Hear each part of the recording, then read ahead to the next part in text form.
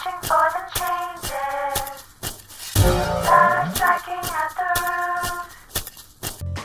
Servus guys and welcome to another short tutorial in Minecraft, this time in the mod MineFactory Reloaded. And as you guys know or might know, I'm playing uh, Chaosville at the moment, but uh, only in German and on YouTube. And I found something very interesting to have endless fish, which is very very cheap to, to build up, to craft the things. So I'm just, uh, as you can see, you need a fisher, just very easy to craft um, machine and uh, so I'm just showing you how to set this machine up.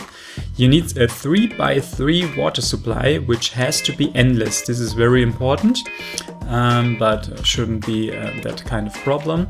Then you have to uh, place the, the fisher right in the center of it but above of it. Then you need some some EU um, electricity.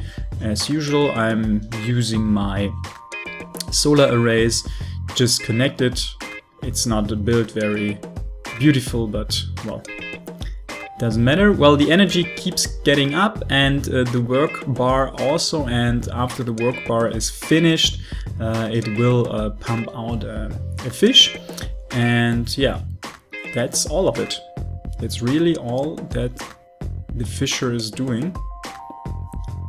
And if you're playing on the server, for example, and you got a chunk loader or whatever, then uh, you really got endless fish. So after the work bar is completed, the first fish comes out and, well, uh, it, it never depletes. So, so you, you get every, well, let's say 20, 30 seconds, uh, you get a new fish.